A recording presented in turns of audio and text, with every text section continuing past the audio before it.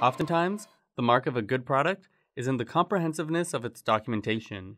But even knowing this, no engineer enjoys this long and tedious task.